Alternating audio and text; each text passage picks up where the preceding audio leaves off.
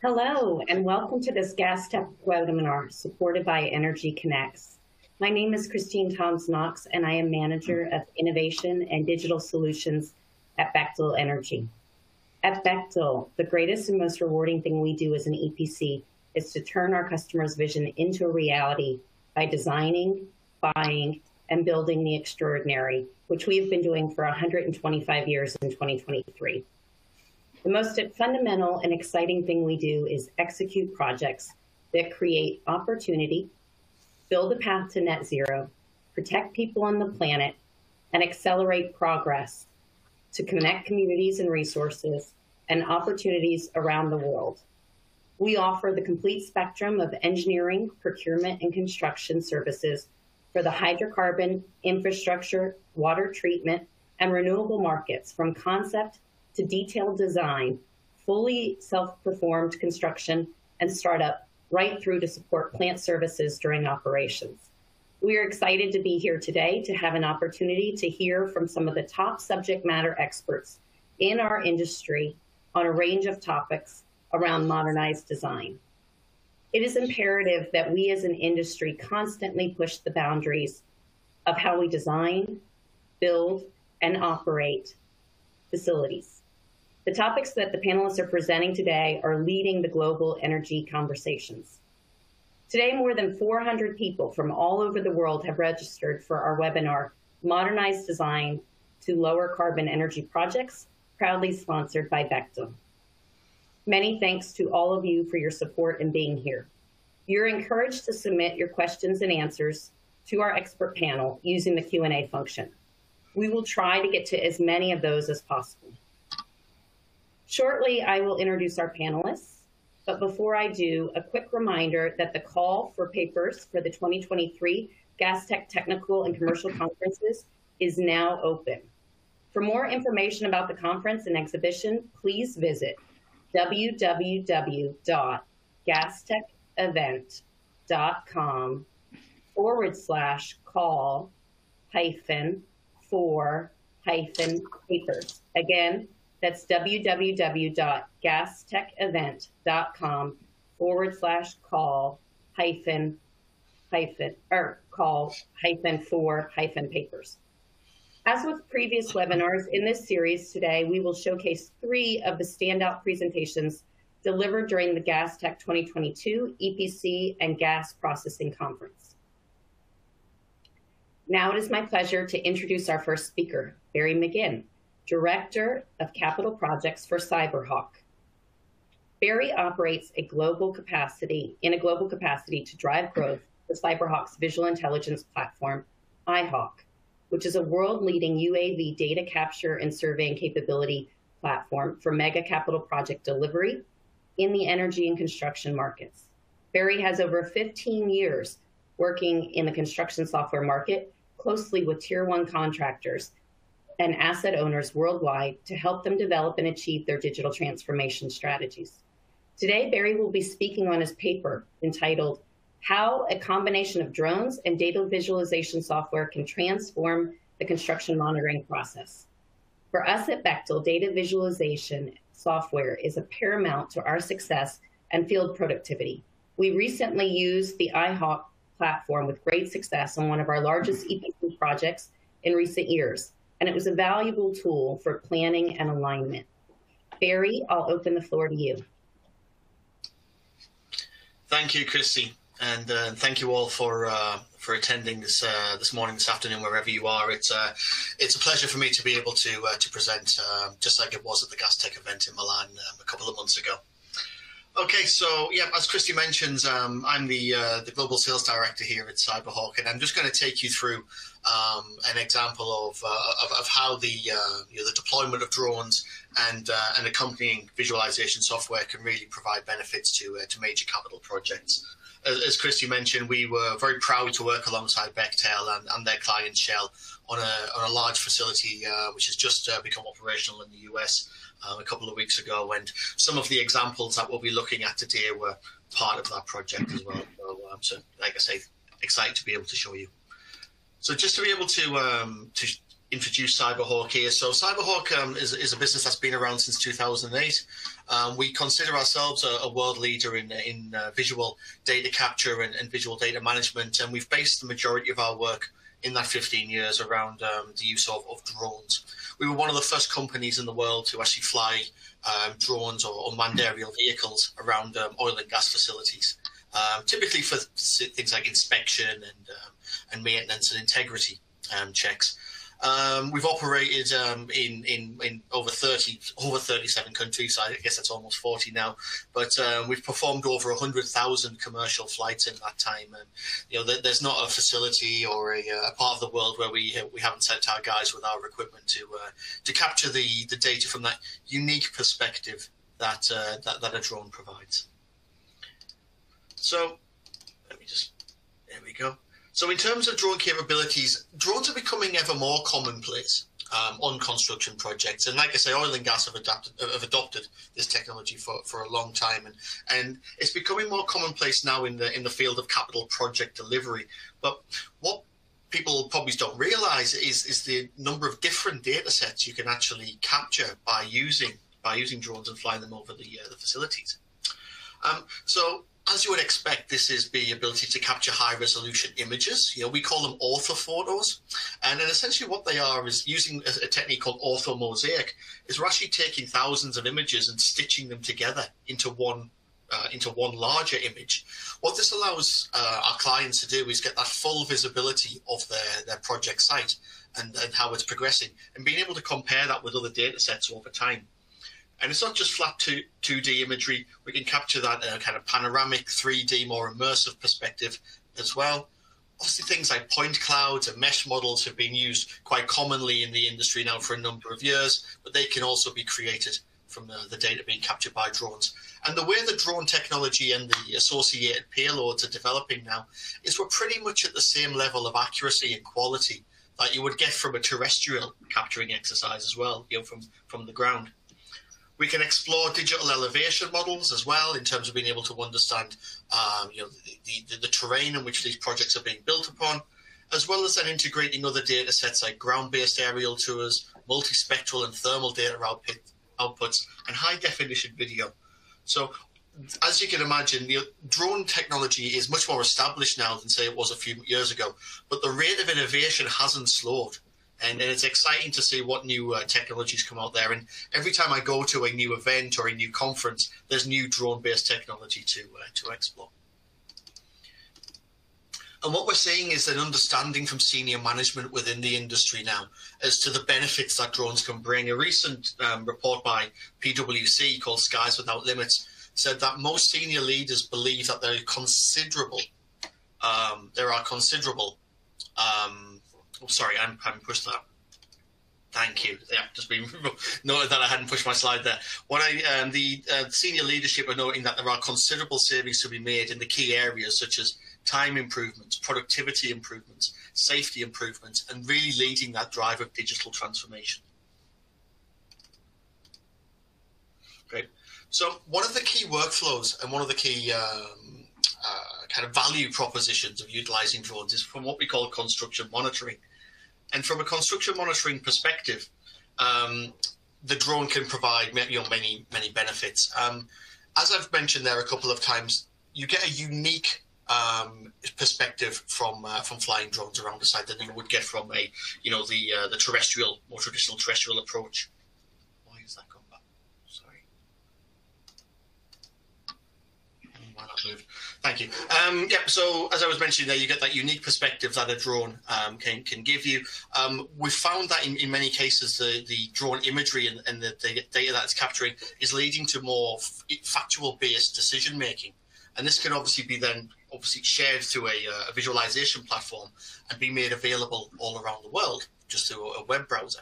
So from a claim resolution perspective, we can get access to this data for, for everybody who needs to be involved in that uh, in that uh, you know, those checks, those progress checks, and, uh, uh, things like that, and, and, be able to make those decisions based upon the evidence.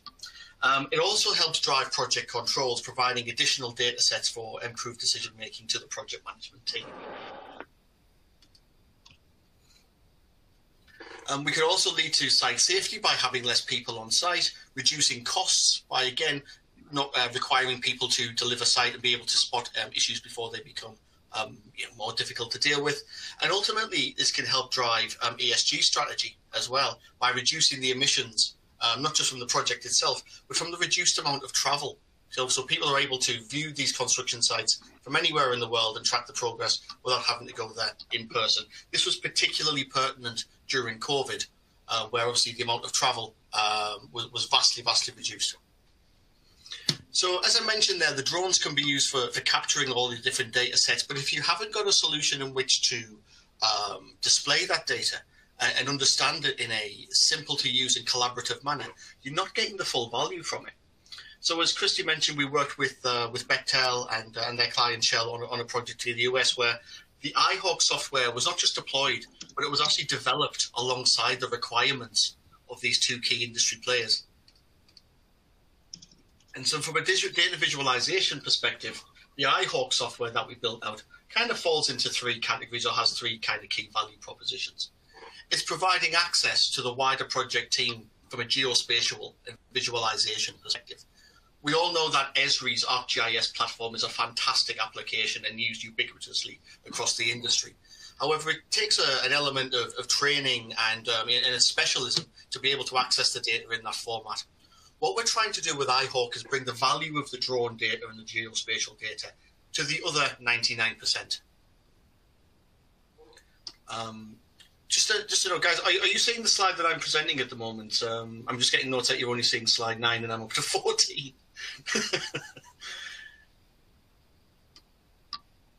okay, I'll I'll just continue, uh, and hopefully the uh, the system will, will will catch up. Yeah. Okay. Thank you. No, we're on 14. Thank you.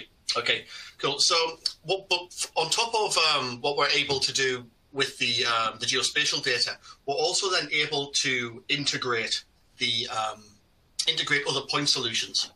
Um, so, not only being able to visualize the, the site as it's being developed from a visual perspective, but actually be able to bring through other data sets from other point solutions, things like EDMS platforms, ERP solutions, uh, IoT devices. And as I mentioned there, it's about data democratization. It's about bringing this data to the much wider project team.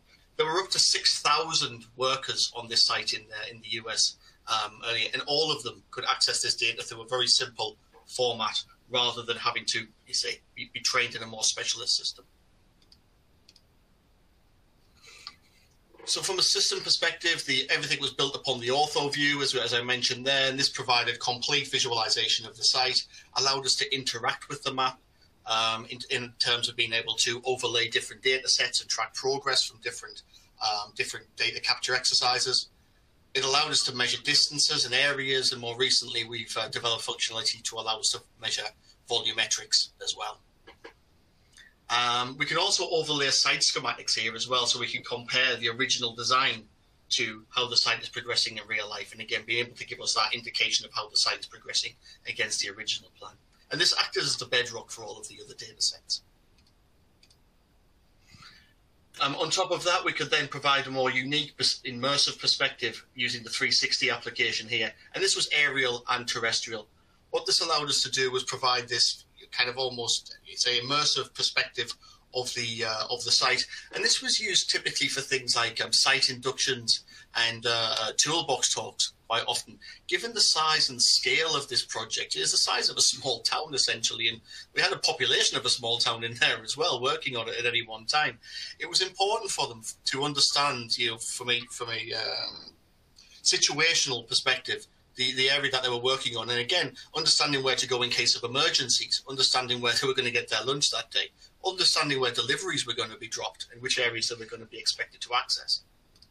And from that perspective, we then built out further functionality, which allowed us to almost annotate the project data that we were capturing there. Again, this was used for things like coordinating work streams and managing laydown areas and overall logistical planning. Again, just pre- coming up with new and, innovative ways to take advantage of this high resolution data that had been collected. This was particularly powerful as not only again was it able to show us which areas certain equipment was going to be available in or areas where certain activities were going to be sorry my slides keep on skipping um, yes, where certain activities were going to be taking place. Um, it, it allowed us to again bring through different data sets and allow people to get that perspective. And then the integration points that I mentioned was that we managed to geo-reference an entire EDMS system or, or, common data environment. So any particular piece of data that had a location associated with it, whether it was a drawing, a document, an equipment tag, um, or anything else for that matter, could be surfaced through this drone data. What this allowed people to do was able to essentially draw a box around a certain part of the site, and then all of the documents and drawings associated with that particular part of the facility would come to life in front of them there. And then finally, one of the key um, integrations that we, we managed to build out here was the ability to surface data from RFID tags or IoT devices. So this could be equipment in terms of monitoring the performance of equipment or the performance of uh, other facilities, bringing through key information like temperature, pressure from uh, from sense from uh, from sensors in hard to reach places. So overall, the whole point of the platform here was to bring through the top 10, 15% of the data from multiple point solutions and bringing it into an environment that people understood. I'd just like to finish off um, by just go, going through a, uh, a, uh, uh, a, reference that we got from Shell on this project, which really brings home the value that, um, that iHawk brought to the job. And as you can see there, I'll read it out there, that iHawk became an inseparable part of what we do and that collection of site imagery captured over time contributed to countless progress and cost reviews with the major contractors and subcontractors on the project. Um, making these decision-making processes, you know, factual, evidence-based, transparent, and fair. And I think if you can deploy a digital solution that not only improves productivity, but also improves transparency and fairness and decision making on the project, then it's certainly something worth exploring and, and deploying on further jobs going forward, which thankfully we have done with uh, with Shell post this uh, post this project. So that's a, a bit of a whistle stop tour of what I've uh, of what I could talk to you about. If anybody you know has questions, I'll be delighted to answer them at the end of the uh, of the presentation. Thank you. Thank you, Barry. Next, we have Konstantin Lau, Director at Schneider Electric. Konstantin is a global director of oil and gas with Schneider Electric and holds over 20 years of experience in industrial automation and software. He is responsible for the oil and gas segment business strategies and sales and marketing programs worldwide. Constantine has published numerous articles on sustainability, industrial automation, energy optimization, optimization, and AI systems. Constantine will be presenting his paper entitled eight strategies to drive enterprise profitability through integrated power management and process automation.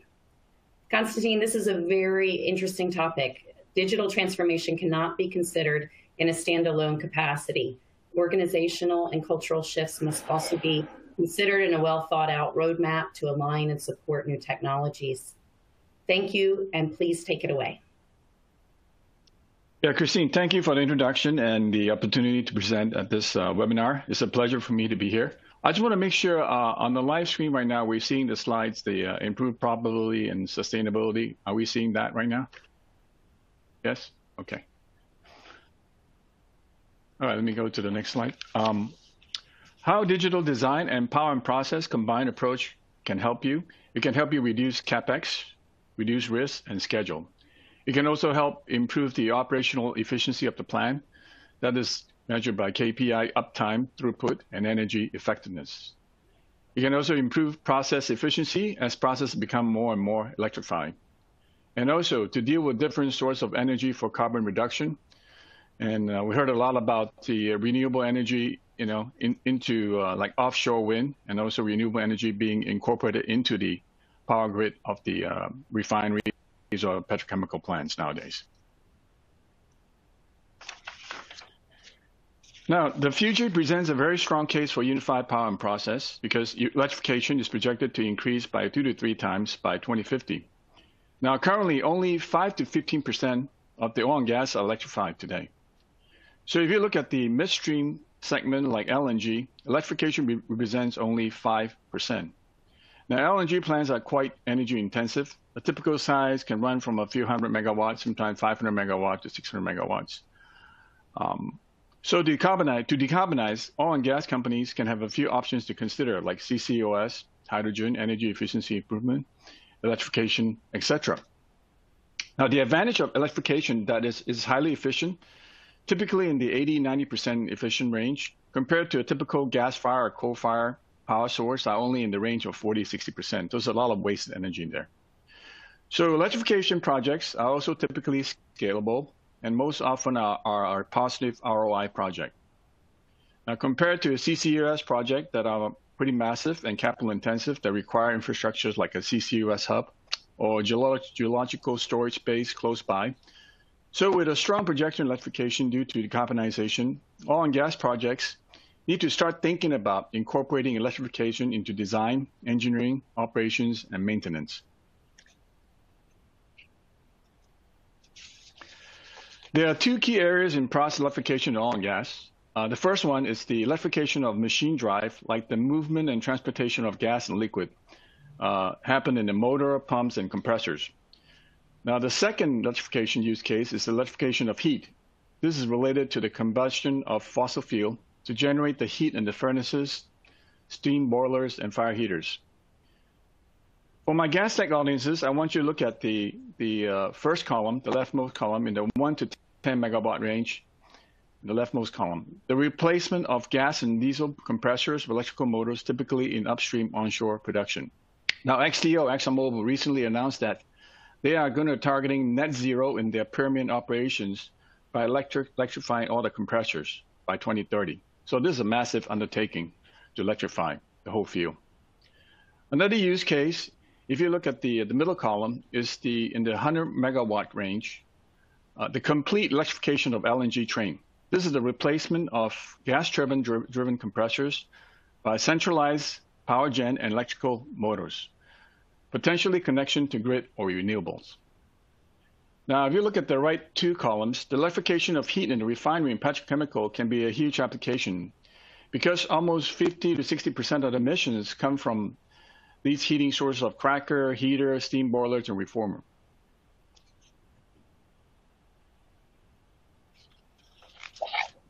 Now, digital design, power and process intimately linked and are the two key elements of digital transformation. Without power and automation, a plant cannot be run. Now, in general, there are three sources of data within the plant, which is the energy data, who, who, who get, illustrate the electrification, decarbonization, and multiple power source data.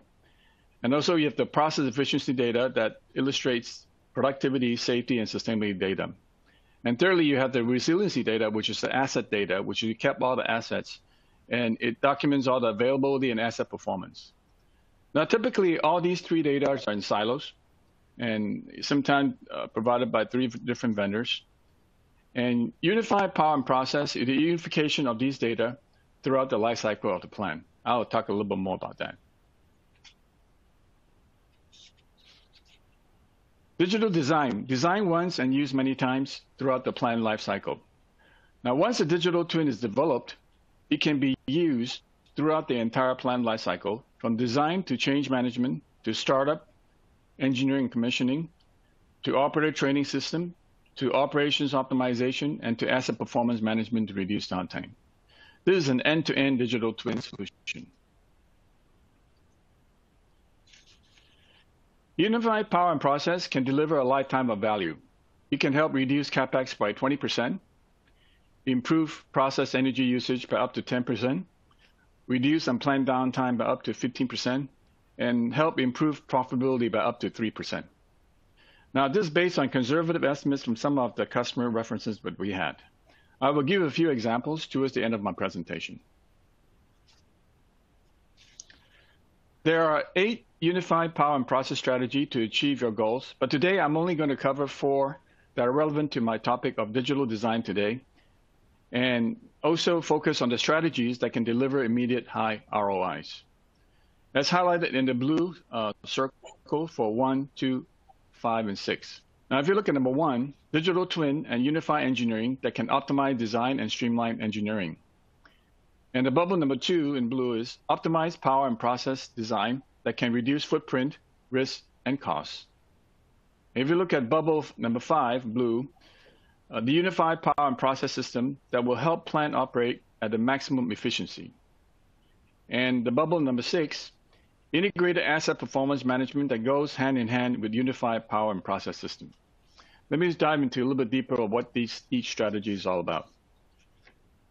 Now, to optimize design and to de-risk project engineering, there are a few strategies and solutions that can help you achieve this. Number one is digital twins. As I mentioned before, a few slides ago, once a digital twin is developed, and I talk about digital twin of electrical system, elect uh, digital twin for a process system, and digital twin also for equipments. These are three different digital twins. And they are integrated, and then it can be developed, and it can be used throughout the life cycle. Now, number two is the Unify Engineering. Unify Engineering is AVEVA engineering methodology and solutions that automate design and engineering to streamline the change process. A centralized cloud-based data-centric environment for real engineering data. It spans the concept, conceptual design from front-end engineering FEED, feed, and detailed design phase of your project lifecycle. Now, power and process system design optimization can help reduce footprint, risk, and costs. If you look at the top, the leftmost uh, top title is optimized. You can optimize electrical and power generation by eliminating cookie cutter approach, which can be most of the time over design, and creating and creating a fit for purpose design that can eliminate waste. This helps reduce energy requirement, hence reducing the number of equipment and footprint. You can see some of the examples I've put down there. The power distribution footprint is reduced by 30%, and the distribution also reduced by 55%. There's a massive uh, capital savings here. And if you look at the middle column, which is eliminate wiring, by integrating electrical and automation system, you can eliminate separate hard wiring of two different systems. Many of the electrical systems can be connected to automation system through the IEC, IEC 61850 serial link. CapEx-wise, integrating the intelligent power motor management control to the DCS via fiber optics, and connect the pump fan in instrument cable to the field I.O. instead of motor control center, the cable savings can be huge. Estimate savings of 50-60% control wiring and 70% in terminations. If we look at the rightmost column, the reduced footprint, automation and power system can be integrated into the same e-house, therefore provide a very huge potential eliminating e-house e-house footprints.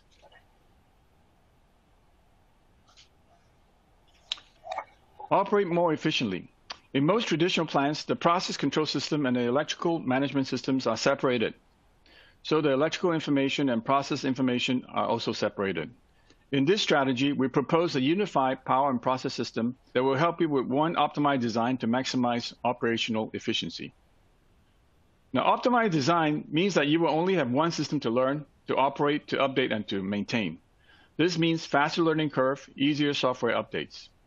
The electrical information stored in the historian for trend analysis versus the traditional spot data.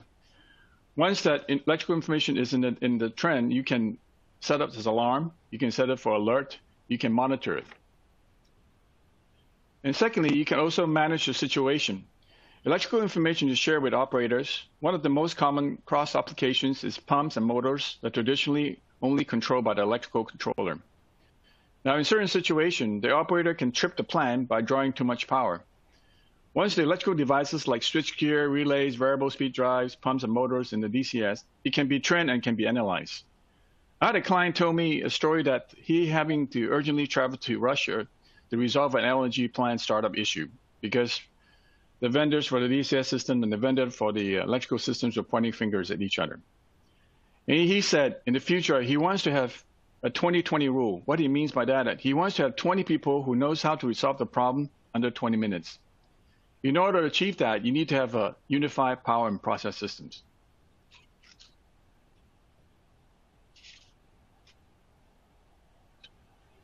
Which leads me to a quick, quickly diagnosed event you see in the right column here. When something has failed or the plant is shut down, you want to figure out the cause as fast as possible because the lost production means lost profit. With electrical information integrated, the operator can have a comprehensive diagnostic that can increase the chance of fast recovery, many times through sequence of events capability. Now, this is a personal story of mine. During the earlier part of my career, I spent about three or four years in the petrochemical plant, starting my plant. And one time the plant was shut down due to a lightning. Now, once we figured out the control system was okay, we still could not start up the plant because we did not know which power system, electrical system was tripped and potentially damaged. And worst case scenario at that time, we have no visibility into the electrical power system data. So it took us almost two days to figure out the source of the issues. And sometimes related to, it was related to a breaker and also related to the cable. So we have to test each of those components manually, one by one. So it took us almost two days to start up the plant again. Now, if we had a unified power and process system at that time, I'm pretty sure we could have started up in a few hours instead of a few days.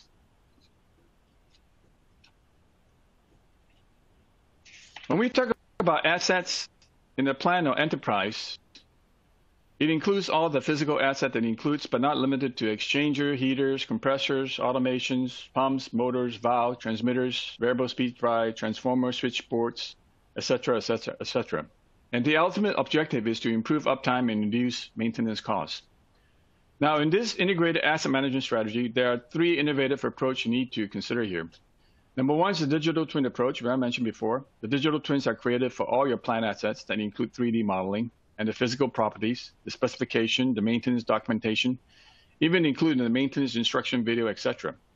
Now, this model can be used throughout the life cycle of the plan once it's being developed. Number two is the integrated asset approach, one platform, one database for all the assets. This includes process automation, electrical, and mechanical assets. Number three is the health data, health data assets can be collected and analyzed in real time.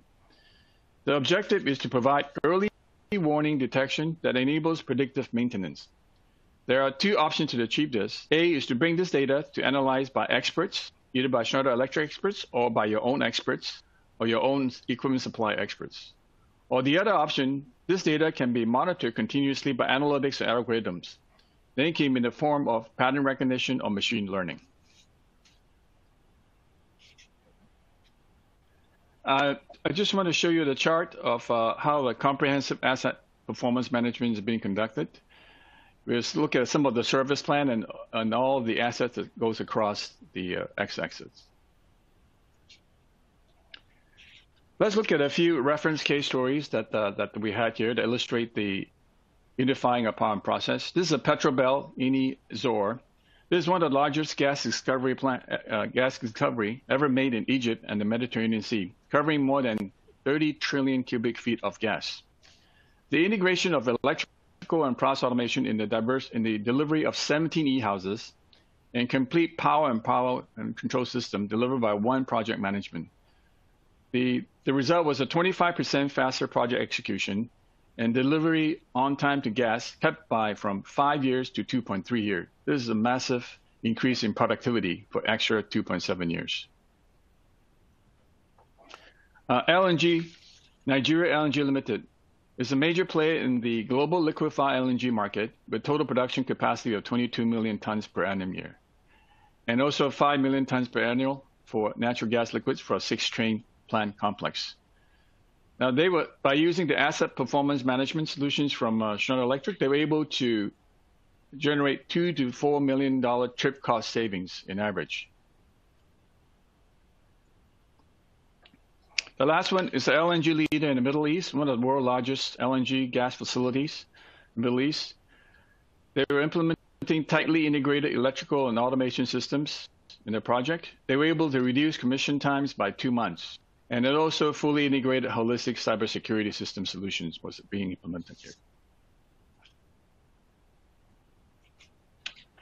In conclusion, Uh, I've just talked about how digital design and power and process combined approach can help you reduce capex, reduce risk and schedule, improve operational efficiency, improve process efficiency as processes become more electrified, and to deal with different sources of energy for carbon reduction.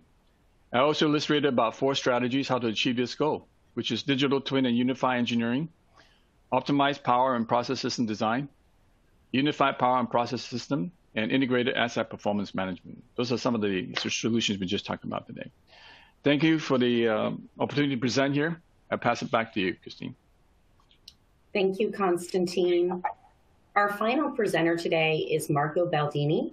Marco works as hydrogen solutions architect of Gas Turbines and Systems in Baker Hughes Climate Technology Solutions Organization. He supports companies worldwide in the early engagement phase, evaluating multiple scenarios for innovative, viable solutions towards net zero. Marco develops tailor-made feasibility and business cases with customers' viewpoints and impacts in mind. Marco began his career as a design engineer with an Italian telecommunications company in 1997. He has 20 years experience in the global oil and gas space, as well as four years in the hydrogen space. Marco's presentation today is entitled Gas Turbine Systems with Diffusion Flame Combustion and Fuel Blending for Reducing Undesired Emissions. Marco, we are constantly searching for the best solutions to lower our CO2 emissions in the production of energy, and currently this is very paramount with the LNG production.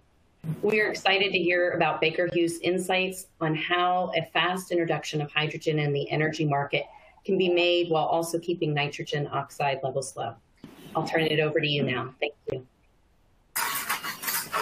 Thank you. Good morning, ladies and gentlemen. Thank you, Christine. Welcome, everybody. I'm honored to talk about how we're helping our customers to decarbonize where it makes sense, and hydrogen is clearly the front runner in this space.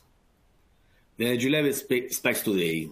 Today, we can redefine how we can save our planet to reach net zero.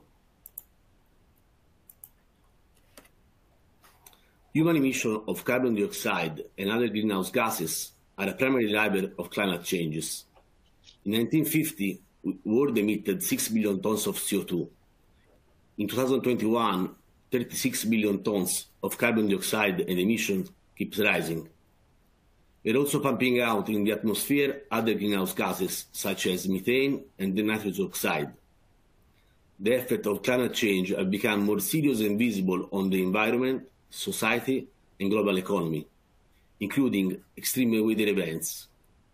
The only way to limit to, to, to change to climate to rapid change the climate impacts is to de decrease the collective emissions, quickly solving the energy dilemma called by the World Energy Council. As mentioned in a report from Deloitte, the focus on the decarbonization of energy sectors is well known. Following European oil and gas companies, US, Canada, and other companies joined the Net Zero Group in 2021. As we digest the recent discussion from COP27, it's clear that the boundary conditions since last year have changed. Everybody needs to do the best they can. One of our, our goals is to offer ready technology solutions. One, uh, on the LNG value chain, despite the majority of greenhouse gases emissions at the end of the user premises, there is a significant quantity that is produced in exploration, production, and liquefaction facilities. Today, the main request consider more efficient plant configurations like gas turbines or electrified drivers. In the medium term, the application of new energy solutions will be predominant, like hydrogen, renewable sources, or carbon capture hydrogen will in hydrogen in the gas turbines will play a significant role, being well positioned in terms of uh, readiness of the technology. Baker is engaged in many low carbon projects where we put our existing technology to help industry to reduce their emissions. Strategic uh, hydrogen cooperation are necessary to accelerate the adoption of hydrogen as zero carbon fuel Leveraging on our OEM capabilities, we have started to fill the gaps space to play in all the hydrogen value chain. On production, we are focusing on all the low carbon hydrogen production technologies. From the hydrogen rainbow, let me say a few words on turquoise hydrogen. This is a novel approach to produce hydrogen and solid carbon from methane pyrolysis thanks to the partnership with Ekona. On transportation, we have 60 years of experience in compressing hydrogen, we installed the first reciprocating compressor in 1962. Within our centrifugal compressor portfolio, we developed the high pressure ratio compressor technology, enabling the increased pressure ratio achievable for compressor body. This product will be a game changer in the hydrogen valleys. On utilization, we have 30 years of experience in burning hydrogen in our gas turbines. Furthermore, we are exploring other clean fuels such as ammonia or methanol, and we are upgrading our testing capabilities to support the required developments. In the past years, the usage of hydrogen as fuel in gas turbines application was limited to the application coming from refineries or chemical plants as byproduct of other processes. Baker has wide experience in burning a variety of fuels mixtures with content up to 100% of hydrogen, more than 70 units installed worldwide. Specific solutions have been implemented in gas turbines covering from 10 to 130 megawatt. As you probably know, Baker already built the first gas turbines, 12 megawatt, able to burn up to 100% of hydrogen for a combined power plant in a, in a customer prototype environment funded also by the European Union. It was a PGT-10 gas turbines operated si since July 2009 for a couple of years. It was the opportunity to gain a valuable experience and represent a successful milestone 13 years ahead of the H2 curve. In Baker portfolio, there are many gas turbines ready for a world with low carbon fuels. In the green are listed the gas turbines that are DLN, DLE combustion system. Current premixed combustion technologies are limited in burning hydrogen. Hughes is going to develop the DLE combustion system able to burn 100% of hydrogen, having uh, 25 ppm or less NOx emissions without injecting any diluents. In light green, you can see here gas turbines in the diffusing combustion system, standard or single annular combustor. Heavy a NovaLT gas turbines family are ready uh, or today capable to burn 100% of hydrogen. Diffusive combustion system offer full flexibility and flame stability, while the side effect is the difficulty to control the NOx emissions due to the temperature peaks Water and steam injection or, or an SCR exhaust can be used to reduce the NOx emissions. I'm thrilled to be here to share with you a solution that could change the world for better.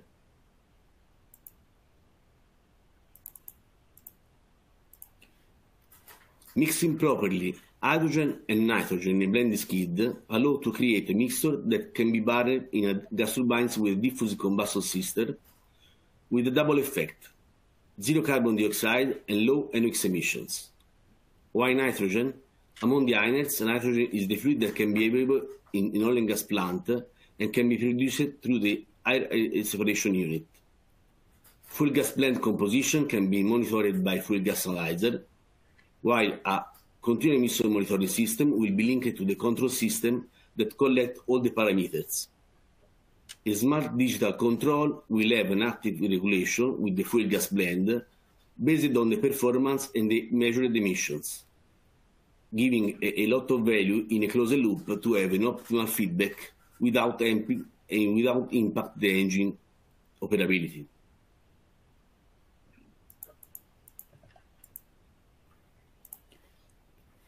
Let's have a look on a case study applied to the LNG plant composed by uh, uh, four five gas turbines as driver for a refrigerant train and electric motor used as helper on the same shaft line. The current Frame 5 2D are equipped with a DLN combustion system burning methane. The proposed configuration is fueled with hydrogen in diffusive combustion system using nitrogen as blend compared um, targeting the same shaft power as per actual running conditions. Let's compare in this chart what are the outcomes. Zero CO2 emissions, NOx emission of 25 ppm, slight increase in the gas turbine's efficiency.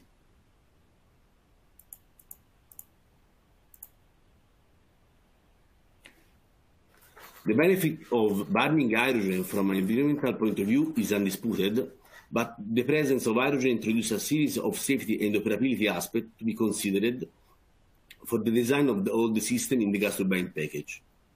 Design for safety is paramount and will strongly impact the low energy ignition of the hydrogen fuel. All components, including valves, instrumentation, pipes, and fittings, have to be selected to avoid hydrogen embrittlement. Please consider that the most of design standards to design auxiliary system are based on conventional natural gas. Here describe the system to be evaluated on gas turbines flange to flange, package, and auxiliary systems.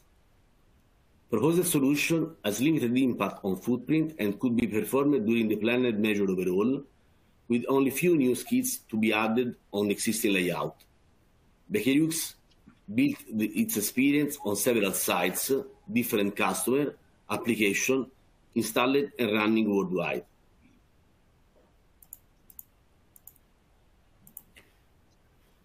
Let's quickly summarize the main benefits. Total carbon footprint reduction.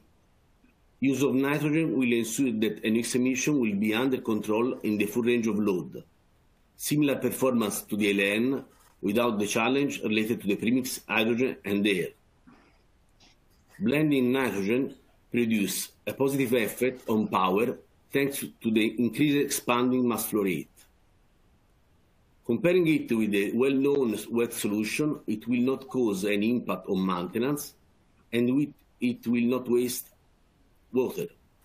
The solution can be also tailored for, specific site operation requirements and emission limits. It's worth to mention also the next developments of the solution. Update the design of each, of each gas turbine model, package and auxiliaries for all gas turbine models to minimize the risk of leakages. In addition, using a considerable quantity of inert and hydrogen required to design full gas piping and valves to accommodate the increased flow.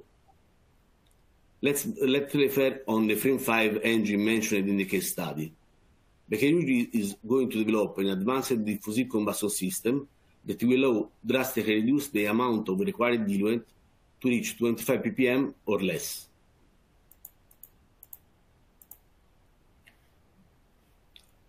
The good news, we have climate technology solution to full decarbonize. Nitrogen and nitrogen saved the world once. A century ago, the world faced a looming food crisis. Haber-Bosch developed a process that reacts hydrogen and nitrogen under pressure to make ammonia, which farmers adopted in place of natural fertilizer. Hydrogen and nitrogen can work as daily emissions. Will, this, will they save the world again? A special thanks for, to the Baker Hughes team that is working on this solution. Thank you all for your attention. Thank you, Marco. As a reminder to our audience, you can use the Q&A feature to ask Barry, Constantine, or Marco a question. We have just over 10 minutes for Q&A, so we'll go ahead and get started with one or two we've collected, um, and then hopefully we'll see some questions pop up in the Q&A chat. This first question I'm going to give to Barry. Barry, what are the biggest challenges around the deployment of drones for construction monitoring? or for other workflows, and how are they best overcome? I think um, traditionally the construction sector and, and, the energy sector overall has, has been um, a little bit slow to adopt um, new technologies. I think McKinsey did a report, um, a famous report a couple of years ago, which was which was quite damning, which kind of said that you know construction in particular was was an industry that lagged behind many in terms of um, digital adoption. So I think that's really changing. I've seen a big change in that in the last three to five years, in particular, as uh, as the value of, of digitization and, and, leading into the, the, digital twin conversation has, um, has, has certainly picked up. So I think um, a lot of the um, the, the, the difficulty comes from mindset a lot of the time, you know, and, and, being able to adopt this technology, people thinking it's too difficult, people thinking that they can't control it, there may be accidents perhaps, um, you know, rather than kind of going into it with an open mind and thinking, you know, if we can work with you know, professionals with experience in this area, the value proposition is much greater. Um, I think in, in that respect as well, you know, I think there was a, there was a, um, an article I read recently which said that a drone can cover 30 times the distance that a person on foot can in a day from a surveying perspective. So from that alone, the other productivity gains are there to be are there to be had. So I think in some parts of the world as well, though, um, it can be difficult. Um, you, there's certain markets that we've really struggled to enter just because of the um, the difficulty in gaining permits or gaining access to certain facilities as well. So that can always be a challenge. So it's good to partner with local companies who have that insight as well. So, um, uh, and again, from from a kind of construction monitoring perspective, I think, and I would completely agree. You know, it, it, there's nothing quite like being there on the site rather than looking at it on a screen. But we live in a different world these days, and we live in worlds where you know we're trying to reduce our, our carbon emissions. We can utilize the um, you know the digital um, access that we have to data uh, much greater as well. Um, so I think yeah, a lot of it comes. I guess short answer is a lot of it comes down to mindset. But I think it's just worth knowing that um, that these solutions, these um, drones, the hardware and the software can be deployed with with very little um, very little difficulty these days. No, I, I absolutely agree, Barry. Thank you. Um, I'm going to throw our next one to Constantine. Constantine, can you elaborate on how the digital twin is being used in unified process and power? Yeah, and uh, most people think about digital twin as single dimensional digital twin. Um, in Schneider Electric and AVEVA, we think in terms of digital twin as a comprehensive digital twin. Is the process digital twin and the electrical system digital twin, and also is the, the equipment digital twin. And once you develop that digital twin, um, you can be applied throughout the whole life cycle of the plant, starting from the engineering, uh, which is automated made it. When you, as you work with EPC companies, you know that we have a lot of changes during the uh, the feed phase and then the engineering phase. I mean, changes come by the minute, right? I mean, revision number thousand, so that had to be automated back and forth within digital twin. Uh, even even when it's operation during the operation, even the maintenance phase, uh, you make changes in the digital twin. That had to be uh, backtrack, back changes back to the uh, the design data that has to be automated. So, um, so two things: the digital twin had to be a more comprehensive digital twin. Number two is that the whole process of you when you change a digital twin, you had to be automated. Otherwise, it'll, be outdated completely. So um, that's the philosophy we stand by: unified problem process to to to approach for this uh, kind of a strategy. Yeah.